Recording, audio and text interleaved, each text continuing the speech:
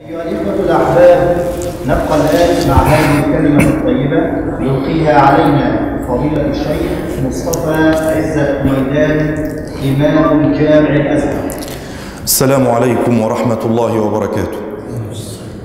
بسم الله والصلاة والسلام على سيدنا رسول الله وعلى آله وصحبه ومن والاه واهتدى بهداه وبعد. فكل عام وأنتم بخير بمناسبة العام الهجري الجديد. إذ تحتفل إذاعة القرآن الكريم بالهجرة النبوية المشرفة. تلك الهجرة التي لم تكن مجرد حدث تاريخي أدى دوره وانتهى أثره. نعم لم تكن مجرد حدث تاريخي أدى دوره وانتهى أثره من حياة المسلمين بوصول المصطفى صلى الله عليه وسلم ورفقته إلى المدينة وانتشار الإسلام منها.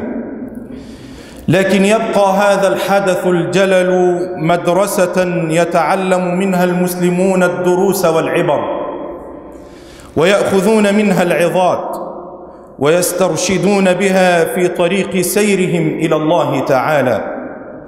فهي تبقى كالنور الهادي في ظلمة الطريق والدليل الحادي عند تشعب المسالك والسبل.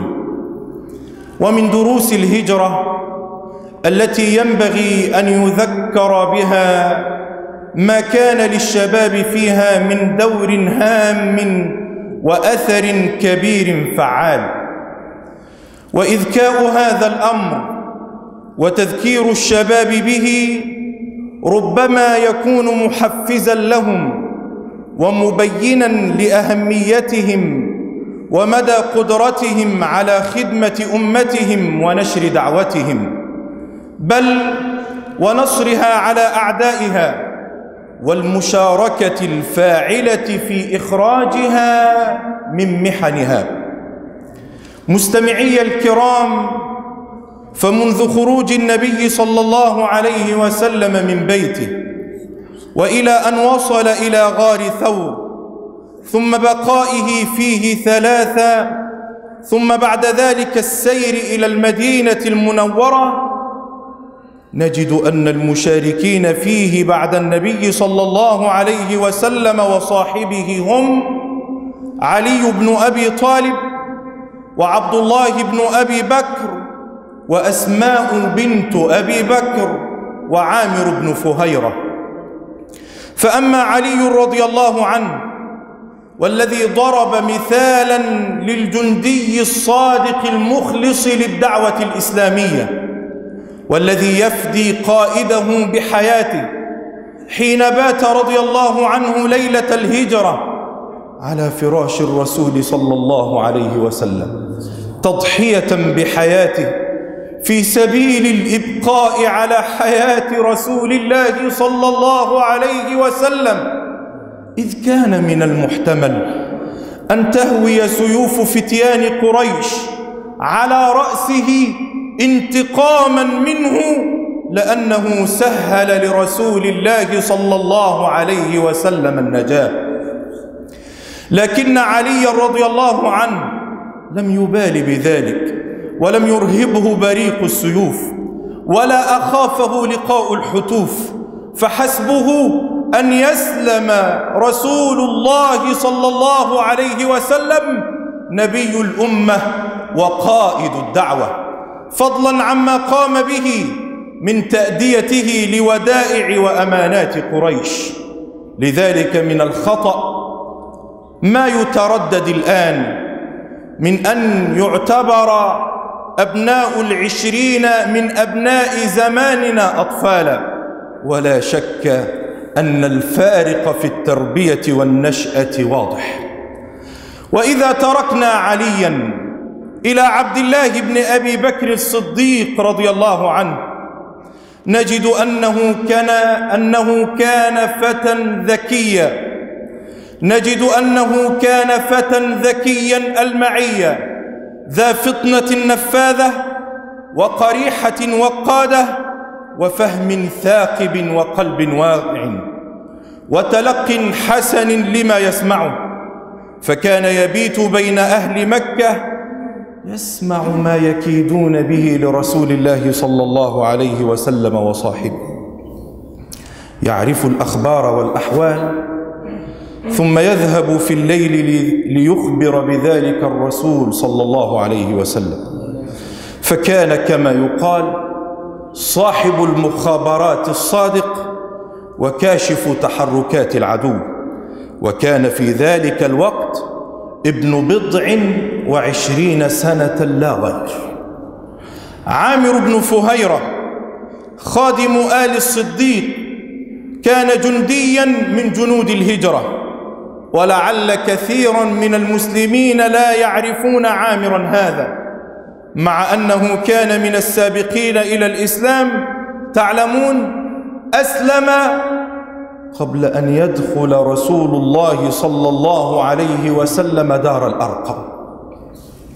أسلم وهو مملوك وكان حسن الإسلام. عذب في الله فاشتراه أبو بكر فأعتقه. ولما خرج رسول الله صلى الله عليه وسلم وأبو بكر إلى غار ثور مهاجرين أمره أبو بكر أن يروح بغنم أبي بكر عليهما. وكان يرعاها. فكان عامر يرعى في مراعي أهل مكة.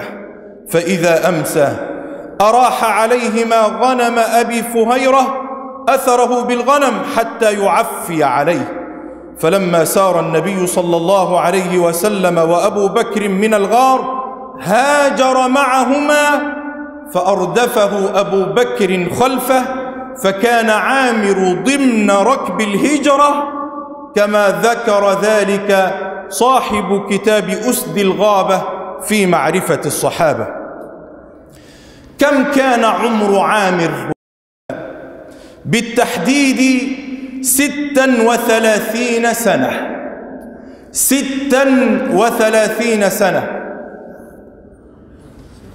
فأين شبابنا؟ أين شبابنا من هذه النماذج الرائعة الشابة التي قام على التي قامت على أكتافها الهجرة.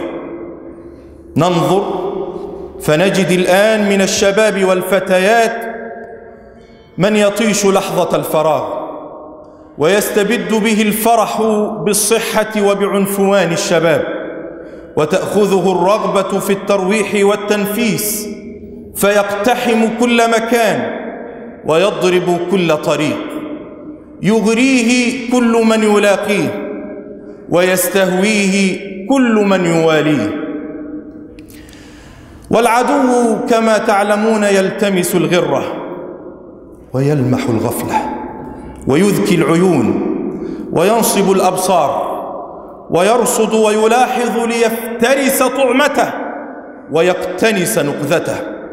وأكثر الفتيان والفتيات صغرا أخرارا وأكثر الفتيات والفتيان صغرا أغرارا يخدعون ويستجرون وبالتالي على الأولياء أن يأخذوا لهذه الفترة العمرية مزيدا من التحفظ والتيقظ والرعاية والعناية والحزم والحذر ويحفظوا أولادهم من أهل الفحش والطيش والسوء والفجور.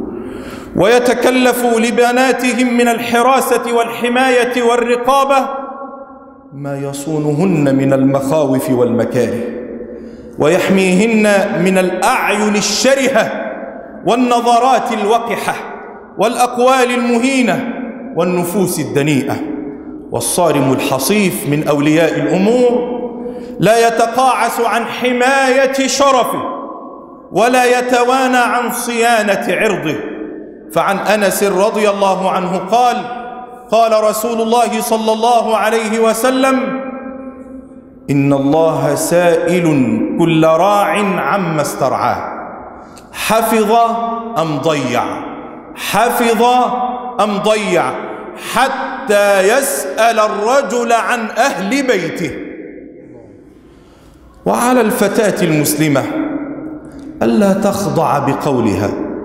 أو ترقق في لفظها أو تتميع في صوتها أو تتكسر في كلامها ومشيتها حتى لا يطمع فيها القذرة الفجرة والفسقة المكرة. والفتاة الواعية لا تسلم نفسها للفضيحة والعار فتراسل غريبا عنها يلعب بعواطفها في النهاية أو تخلو بأجنبي فيلطخ شرفها ويدنس عرضها. والفتى الحازم لا يخالط من فسد من الصبيان ولا يجالس من انحرف من الشباب والفتيان. ومن استرسل في صحبة الفسقة سقط في هوة الردى ووقع في حفائر العدا. مستمعي الكرام كان هذا هو واقع شبابنا. علنا نستلهم من دور الشباب في هجرة النبي عليه أفضل الصلاة وأتم السلام درسا وعبرة لشبابنا. أسأل الله العظيم رب العرش العظيم أن يرزق شباب المسلمين عفة سيدنا يوسف عليه السلام وأن يرزق فتيات المسلمين طهارة مريم عليها السلام. إنه ولي ذلك والقادر عليه. شكر الله لكم حسن, حسن الاستماع. كل عام وأنتم بخير. والسلام عليكم ورحمة الله وبركاته.